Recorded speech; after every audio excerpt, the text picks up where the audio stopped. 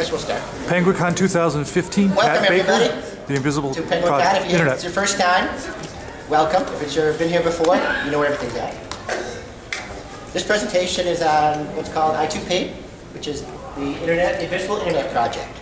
How many people have ever heard of I2P? Okay, how many people have used it? Ooh, okay. How many people are familiar with Tor? How many have used it? Okay, that's pretty good. Freenet? Well, not the Freenet. Oh. Uh, okay.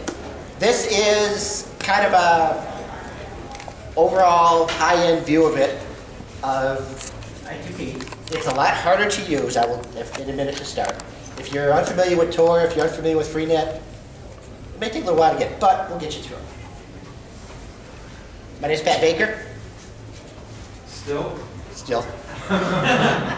First thing, little disclaimer, I'm not responsible.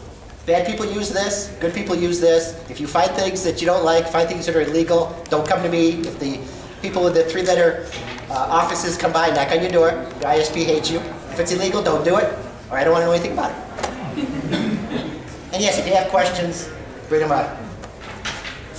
Basically, I'm going to go history comparison between other this pseudo-anonymous systems, i.e. Tor and Freenet. Some overview, some general settings, and then we have questions if you want. History. Created in 2003. Uh, in Europe, they were trying to make Freenet a little bit better, more secure, more uh, stronger. Uh, it's, like I said, it's a big following in, in Europe. Not so much, if you go to the sites, they go to sites, they're called eepsites, you'll find a lot of them are European, uh, Russian, uh, German, and French uh, seem to be the three biggest. The, the place, if you want to go to it, is uh, https get-i2p.net. Some of the simple comparisons, whereas Tor and Freenet, they use TCP. Uh, I2P uses a mixture of TCP and UDP-based system. It has a, uh, which I'll get to a little bit later, it's called SSU controls. They use, well, Tor uses exit nodes, I2P uses what they call out proxies. They're kind of the same thing. Uh, where Tor uses a directory service, when you go to, when you're going to Tor, you have to go and get a big file from a one single server, whereas I2P, the network, how everything is configured, you save little chunks of it on your local machine, so it's a little bit easier, it's quicker. Uh, they use circuits where it's called tunnels, and the separation, it's basically everybody is a router, everybody is a node on I2P. Quick little overview. It's anonymizing, it's not encryption. It has encryption within it, but if you have something that's not encrypted going in, it's not going to be encrypted going out.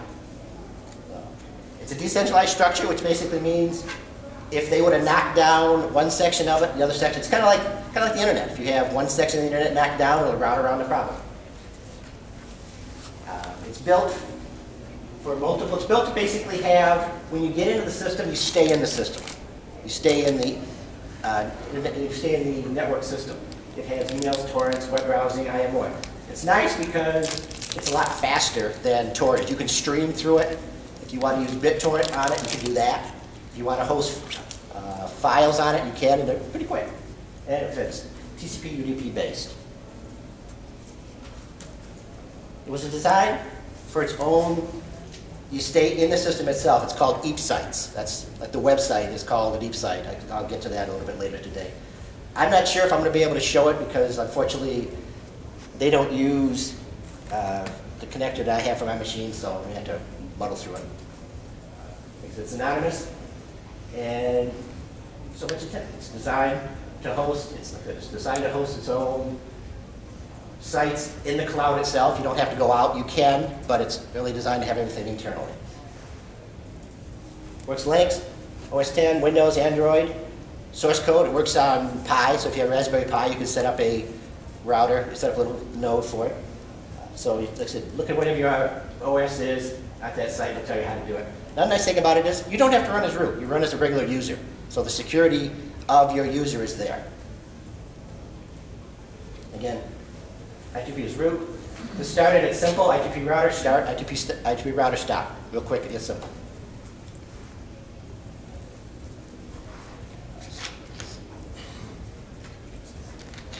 And these are terms you probably, people who've been there before probably ran across this, garlic, which is the Tor type setup. I2P node, tunnel gateway, endpoint, Tunnel is just that, it's a tunnel, in and out. Nice thing about tunnels is, tunnels are designed to go two ways, out or in. You have one set of tunnels that send stuff out, one set of tunnels that send stuff back. Gateway, just that, endpoint. NetDB is actually the, like I said, the database that stores other sites out there and the sites. Garlic routing is similar to Onion, so if people have used Tor, it's designed kind of the same way. Late encryption. It actually bundles multiple messages, packets together into larger packets. So you may be sending one packet, but you may be having two or three other packets within that. So that kind of disperses, and it adds anonymity, it adds a little speed as well. Uh, They use WML, ESF. If you're interested in more encryption, if you go to their website itself, it has probably the best documentation on it I've ever seen. Step by step, it's very good. I would recommend going there. Yeah, You said bundles packages. bundles, Packages? bundles packets. No, no, packets. Small little, your, your data packets, Yeah. bundles them together. Okay, but all from your machine? No, from multiple machines. You're, you're actually So you carrying. have to wait on them. No, not, not that, because it's really tiny little packets. I can show you as we get a little farther out.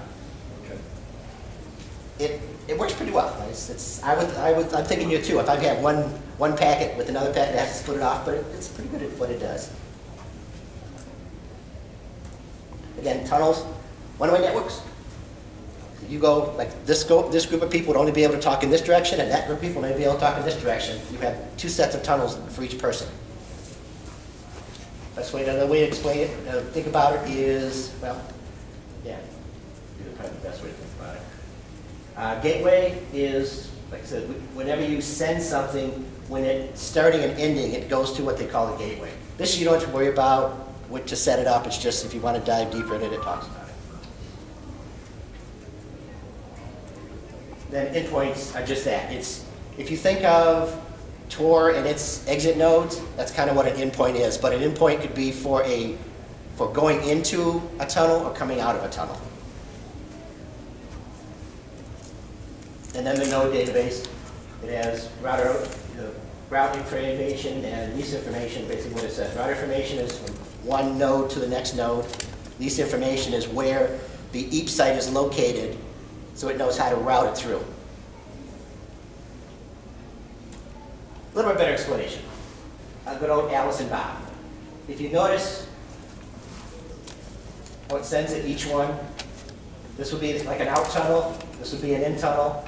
Certain machines can have both in tunnels and out tunnels.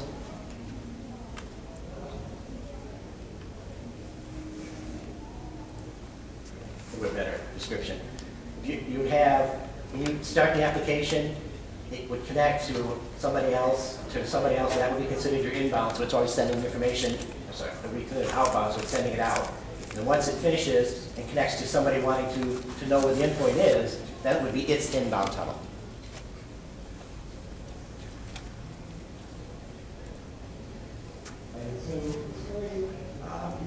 This is kind of what it is. Each one of these little bits is, consider it a, a packet of inner packets within it. So everybody's routing everybody else's traffic. I, I think you need to think about it as a, um, oh, what was the other one? Like a mesh network where everybody's kind of using everybody else's traffic. So if you were to, somebody would attack one little, one node and say this was a bad person, they would only be able to get, if they could decrypt it, little teeny bits of information. They wouldn't be able to know who it's going for, who it's coming from, or anything like that. During the network, it's very simple. When you first start it up, it has a, it goes out to the I2P site to get a basic database, get a starting database, which gives it the information of where it has to go. Then after it gets the information, it just makes a tunnel, similar to Tor. You make your tunnel, you make your next tunnel, you make your next tunnel.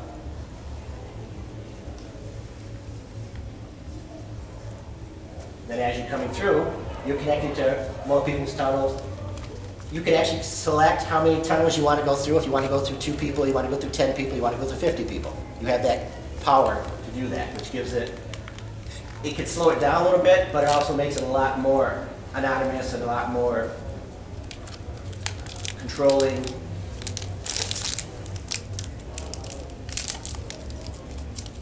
Questions? First thing first, it's gonna be slow the first time you set it up. When you run it and install it, once you start it, walk away for maybe half hour, 20 minutes, for it to set up its tunnels for you. It's just the way, after the first time you start it and use it for a while, it will get faster as it learns more people. As more databases are merged together, it knows, okay, I know where all these people are, these people know where I am at, it will be faster.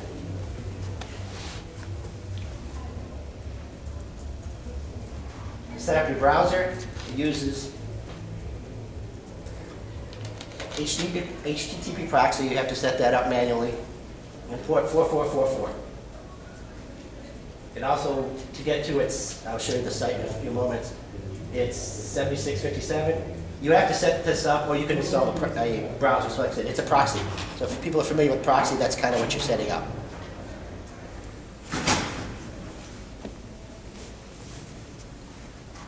Shared bandwidth, you can set it up so that you can use up to 100% of your own network bandwidth.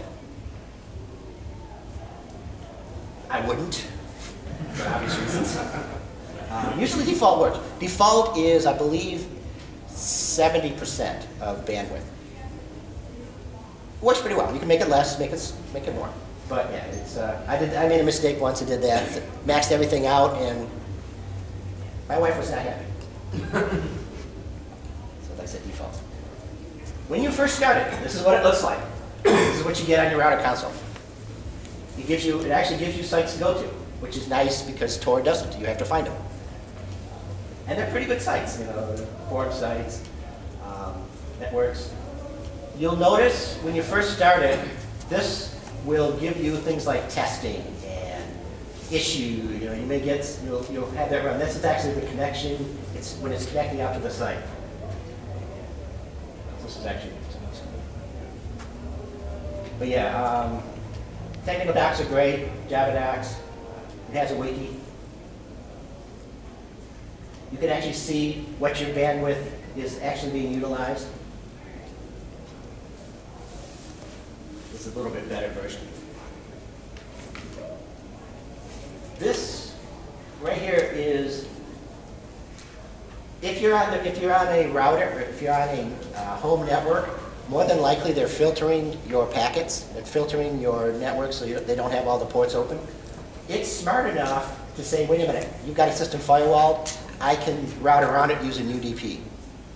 So you- If it says firewall, you're okay, it still works. If it says okay, it means you have an open network and you're, they love you for it, 'cause it makes it a lot quicker. Shared clients, it'll, it tells you that it's, you have people connected to you and it's connecting to other people.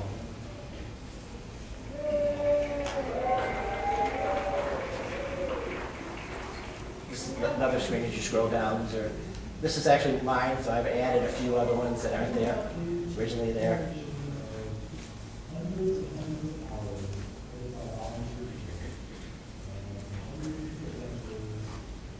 It's really configurable, so it's really powerful, it's really configurable. You can set things like right here, if you want to set up how much of your bandwidth is being used, I would recommend leaving it where it was. You can set out how much traffic you want to go in and out, even though it's using like two percent of your bandwidth, or, you know, whatever percent of your bandwidth, you can actually tell it, I want to use more packets going in and out. Which sounds kind of funny, but you can play, I played with this, I've had this at hundred, I've had this at zero. The defaults, leave them like they are, yeah. That appears to be a web interface. Yes, it's all web interface. Okay. Does it have its own built-in web server? Does you No. also need to run Apache or Nginx or something? No, no, it's- this is strictly, uh, it's, you're, ac- well, you're actually accessing its, its, its software, which uses a web interface to itself. So it has its own built-in web, web server for its web interface? Yeah. Yeah. You don't, you don't need to run Apache or. No, no, no, you don't, you don't have to use any, you you can have just a simple. You just type in the address with the port. What is it developed? it's running developed its own web server. in? What is it developed in? Uh, developed in, I believe, C. C? Right, that's running its own web server.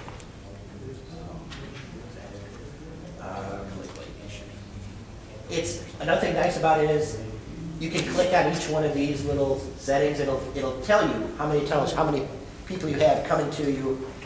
Fortunately, I don't have it. I, I can show you on this one if you want, if you want to come up and look at it. You can define with bandwidth, network, um, let's see, what else?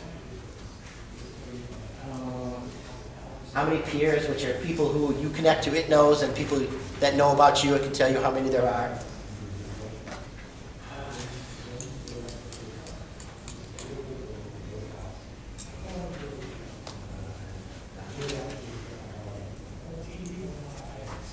This is where you can tell it how many, what they call hops, which are how many extra other nodes you want to connect to.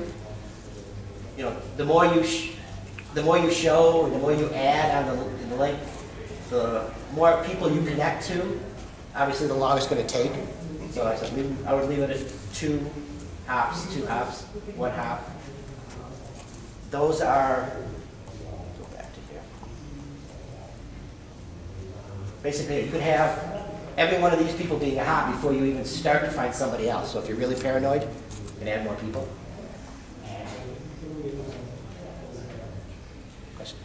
Yeah, is there any kind of um, junk packets? Uh, is there anything that, that keeps it so that, one of the problems I understand with Tor and many of these types of networks is, even if I don't see what you're doing, by seeing the whole network as a whole, uh, you can see a packet of a certain size going in, and then you can see this, that, that size packet moving around.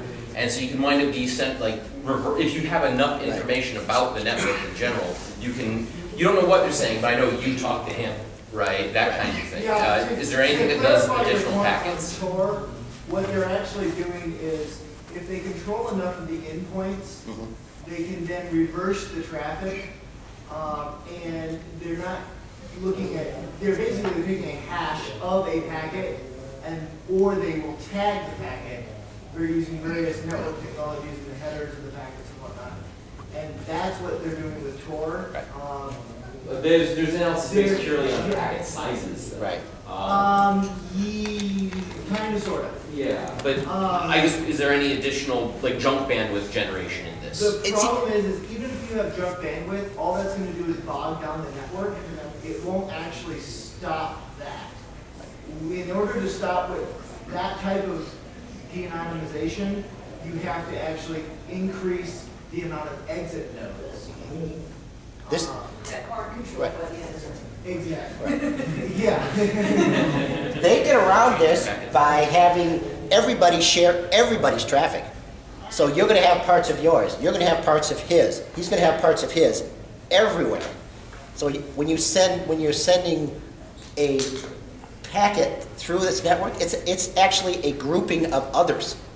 So you may see one packet that may go from you to you, but you don't know if it's yours or yours or yours or yours. Does- Does the packet then get split up again and recombined with other packets so that Yes. it's not, okay, that would add Yes. enough entropy Oh, yes. That That's why you can set up your number of hops. So if you want to go through six people, Yeah. you could have, you know, all these people coming together. It's like, think of it as a big highway, you know, a big, uh, when you're in a big traffic jam and like that person may be cell phoning that person and that person's maybe calling that person, but it's one, it looks like one packet, but it's a bunch of packets inside of Yeah, it. continue read. Yeah, that's, that's, that's the. Default is three hop, right? Default is three hops, which is, it works, it works pretty well. It's, it's pre- now, if you have a lot of bandwidth, I would probably go more. If you really, if you're really paranoid, go even more. But like everything else, Tor, Freenet, this, if somebody has enough money, they can spit up enough resources and they can find out who you are, so, you know.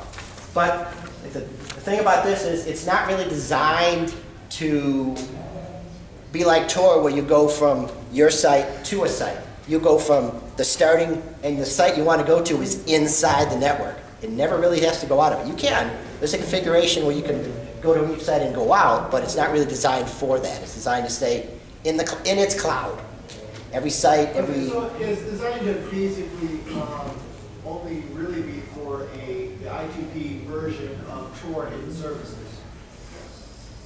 They have a version of Tor and services you, uh, that will connect to Tor through I, I2P, or from I2P to Tor through if you want to do that. But as an overall, the way the group, the way the people designed it is was strictly for stay within its cloud, within its, within its grouping of other people. That's why it has the, uh, uh, the hops, the logging, the multiple packets put together. Yeah, like I said, it's, uh, the hops, the length, you set, you know, set your length, set your length more.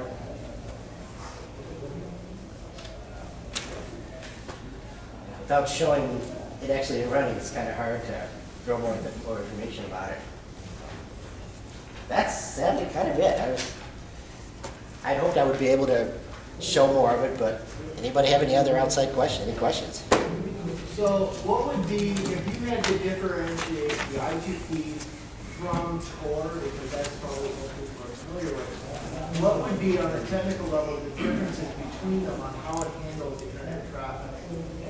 Okay, Tor goes from, what? It does have HDMI. Oh, it does have This one HDMI? does, so if you have a cable, I don't have a cable. Anybody have an HDMI cable? No, wrong bag. Okay.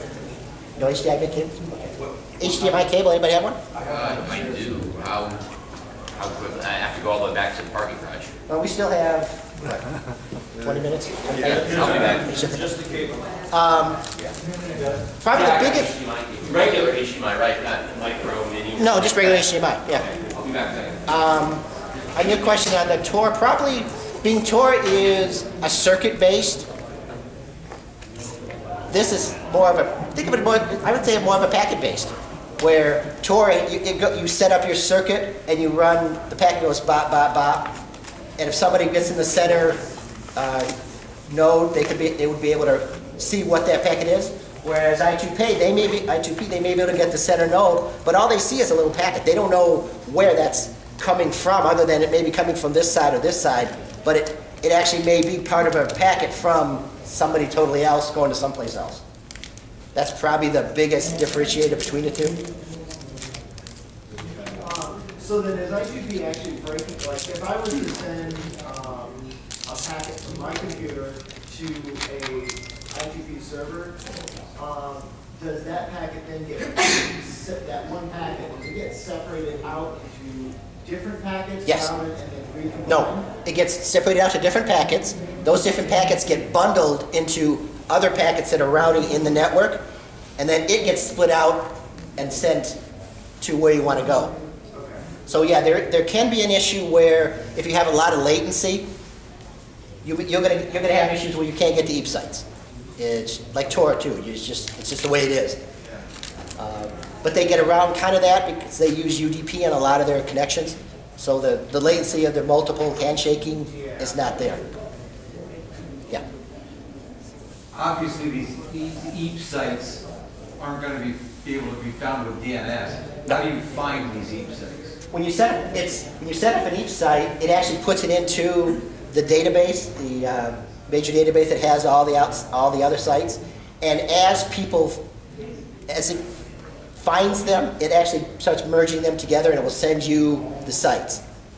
Um, There's a central site you can go to to put your, your website or your eepsite. It's, it, it's, it uses like a public key, which is 520 characters, I think, 530 characters. You can put it in this website and it will put it into a database and say, hey, hey, we have sites and it will connect, that database will send it to your personal database so that you know where to find it, or it can be found. so would you use like Raspberry Pi running a web server, and then you register that, and it, and it also has the I2P Yep. installed on it? Yep, And then you would run a separate instance of I2P on your laptop. yep. Or you could do that, you could have the instance of I2P on the laptop and your website on the laptop, or your uh, IM server on the laptop, or a uh, uh, BitTorrent uh, streamer on the laptop, or uh, a chat client on the laptop, all at once, and people can get to it, and vice versa, you can get to it. The longer you have your I2P running, the more, the faster it actually becomes, because the more connectors, the more nodes it recognizes and knows. When you say the longer you have it running, does it have to be continuously running? Or can I turn my machine off and then turn it back on? Or does it have to start over from scratch? Oh, no, no, no. Every time I No, turn my machine off. no, it- when you're, the first time you connect is the longest, because it has to go out, go to the I2P site, get a mini little database and say, okay, I know where these, I know these nodes. Then once it connects to those nodes, it says, hey, do you know any other nodes? Then it connects to those nodes, which in turn connects to those nodes, to the next node. And then it stores that information. And it stores it on a database locally. So you can actually, if your machine dies, you can actually take the database, the actual, it's a directory, copy that directory to your new machine. Everything's the way it was originally. Each of those little mini databases is like its own seed. Yeah, yeah. So then if, if the government seizes my laptop, they're then gonna have this database also.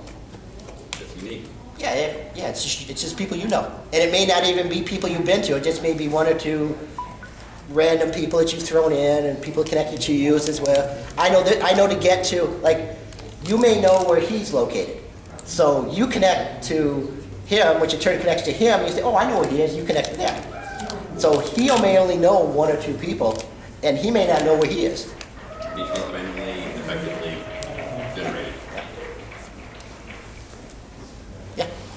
Yeah, can you uh, set up one computer on your network as an I2P gateway and then access the network from other machines on your network, or does it have to be installed on every machine that you want it? It has to be right now installed on every machine. It may, if you have it on two machines, it can, it, they may, may or may not know each other exists. Until you actually, by random generating, uh, connects to it, but yeah, it has to be, each one is, Well, if, it- if it's running a proxy on one of them, you can't connect to that proxy port across your internal network? um.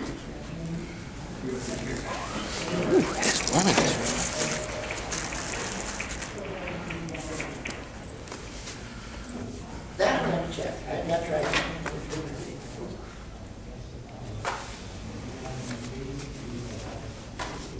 I've been playing this for probably about a year, and it's still, there's still stuff they set up that surprises me.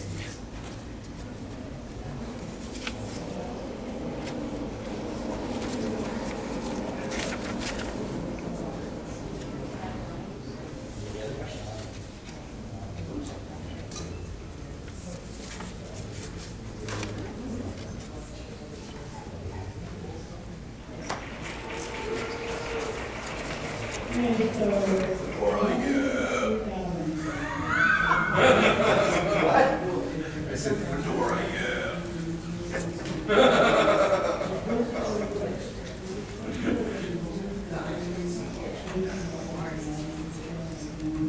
the, the- the actual website, the I2P website, has documentation well beyond academic.